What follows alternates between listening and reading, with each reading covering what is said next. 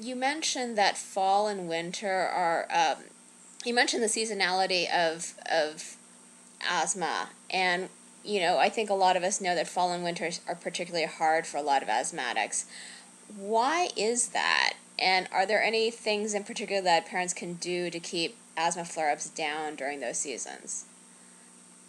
Well, the fall season is notoriously uh, tough on asthmatics. Um, first of all, kids go back to school and they start sharing all their germs. Um, certain allergens peak during fall, mainly dust mites and ragweed pollen. Um, there's also dramatic fluctuations in environmental conditions during the fall. Um, it can be cold and hot and wet and dry all before noon. And, um, you know, the change in temperature, pressure, and humidity can really wreak havoc on twitchy airways. Um, you know, it's the convergence of these factors that creates a, a kind of a perfect storm that often results in increased asthma exacerbations during the fall. And um, many asthmatics, if you ask them, will tell you that fall is actually the worst time of year, more so than winter. Um, so it becomes even more important to visit your asthma specialist or to revisit whoever's taking care of your asthma to optimize the asthma care plan um, you know, before getting sick, prior to the onset of increased symptoms, before these conditions become an issue. What are the slip ups that you see parents making that can land their child in the emergency room?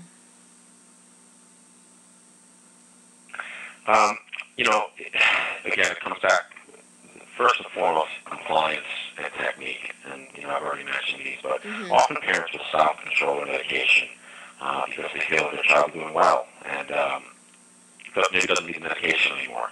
What they what they may not realize is that their child is doing well because they're on the medication, and stopping the medication prematurely may increase the child's risk of a flare-up. So I always ask parents to try to avoid unilaterally stopping these medications, at least to contact the provider, whoever's managing the asthma, and we have discussion about whether that's appropriate.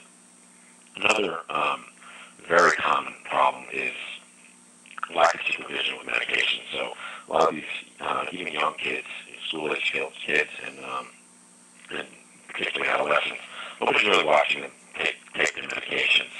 Um, and ideally, directly observed therapy works best. And uh, if left alone, any kid who are not taking medications or, or taking them correctly, rush through the process, and this technique is critical. And if they're really not focused on it, their technique will be poor. And um, you're, you're really not optimizing the medication. You know, but it's, also important, you know, I, I don't want to um, downplay the fact that sometimes flare-ups occur despite parents' best efforts in having done everything right. It's, it's not a sign of bad parenting, but asthma can be challenging, it can be challenging both parents, the, the children affected, as well as the treating physician. And if your child's asthma seems to be acting up, you know, maybe time to reevaluate with your uh, specialist or for your